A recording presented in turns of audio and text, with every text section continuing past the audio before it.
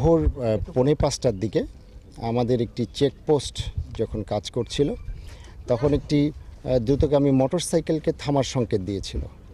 এই থামার সংকেত দেওয়ার পরেও সে মোটরসাইকেলটি থামেনি এবং সেটি আমাদের চেকপোস্ট অতিক্রম করার চেষ্টা করছিল। তো এই অবস্থায় আমাদের যারা চেকপোস্টের দায়িত্বে ছিল, তারা তাকে ফায়ার করে এবং তারপর সে এখানে পড়ে যায়।